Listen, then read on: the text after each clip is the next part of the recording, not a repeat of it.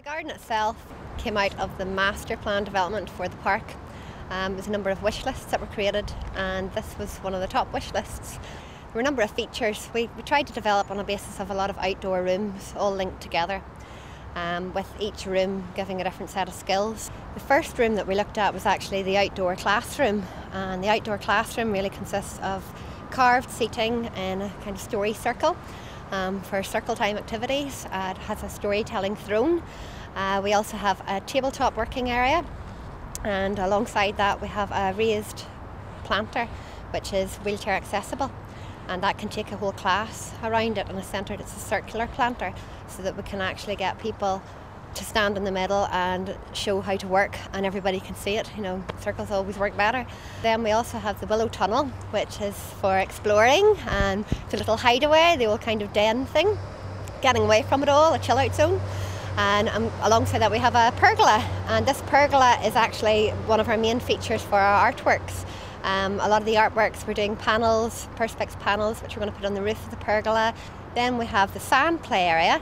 Uh, this gives uh, teaches coordination and skills and step-by-step instructions of how to work to work things and progress. It includes um, manipulative skills, handling skills, motor skill development, hand-eye coordination. We have a few diggers, uh, one accessible to all, so you don't it's not seated, you can stand up behind it. And then we have our whisper wall, which is sound technology along with artworks um, in the form of mosaics.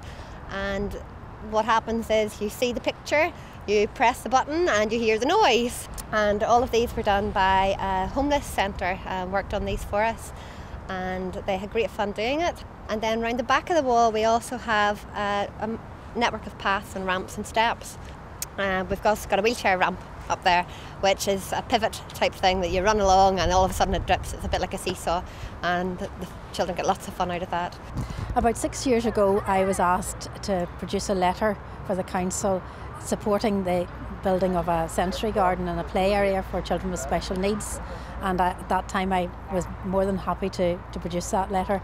And it's lovely today to come along with some of the children from Oakwood School uh, to see and to play with the different uh, items that are created here. It's a wonderful, wonderful resource for the council to produce.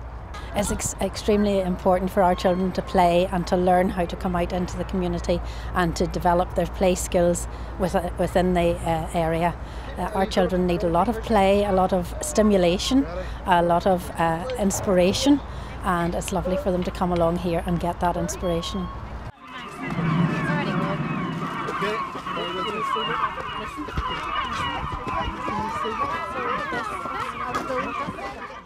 Completely changes the atmosphere of the park with the, the, the sound wall and when phase three is complete the musical musical instruments that will be introduced.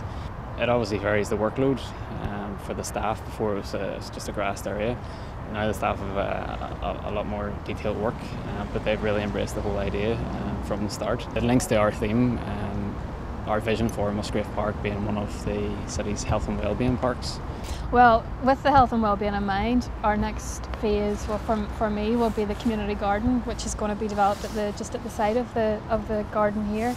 Um, and we, we've already lined up a few schools and a few local groups, um, older people groups, and they're going to get involved and hopefully build the raised beds, plant them up, and then it'll start from the next growing season. And we're going to work with the Public Health Agency, hopefully CVNI also, and just get that going. So it'll just add a whole new dimension to the to the site. Well, um, I'm a community artist, and I was commissioned by the council to um, do a mosaic for the, the therapy garden.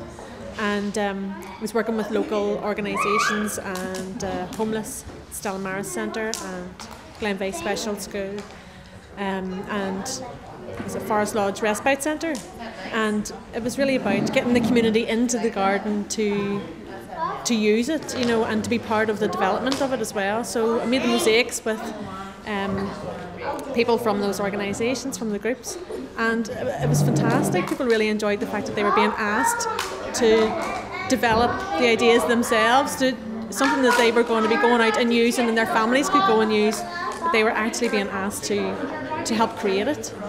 Personally, I, I, I get to take classes with all different people in the community, and I mean, what a way to be employed. I absolutely love it. Um, the children here today, as you can see, have been so much fun. Uh, they're having a ball. They're going to take some things home. So we get to talk a little bit about the park. And really, I ask them questions and they give me, you know, they're telling me what they already know about animals in the park and what animals are native to the park and what animals aren't, like a lion and things like that. You know, where would you find a lion? Uh, has anybody seen a squirrel? What do they eat? What do they do? That kind of thing. So they get to be involved. Instead of me going out to the school, it's nice for them to come and do it in the surroundings of the park itself. David, um, tell me, um, how did you get involved with the therapy garden? I was uh, told about it, but uh, one of staff from management told me about it. Great. And uh, was it an enjoyable experience? Did you enjoy yourself? Yes, it, did. it was brilliant. What, what was so good about it? Um, just uh, doing the mosaics and that and designs. It takes a bit doing it to find out the way it turns out at the end. And I would love a lot more people to get involved in this, especially for young handicapped children and elderly people. It would be a lovely thing for them to do because it is more experience, gives experience, and it's it is really great. I so much pleasure in this. Yeah, so it was a really enjoyable experience. Fantastic experience. It's something I never really thought of. And when I started this, it is absolutely amazing. And you see, when I seen the, the actual product, I was over the moon. I was really over the moon with it. Children are absolutely adoring, and I don't know how I'm going to get them back into school again. It's uh, it's amazing. They have learnt different things, how to plant the plants in the garden. They've worked along the, this wall, and they're now digging with equipment in the sand, and it's just amazing.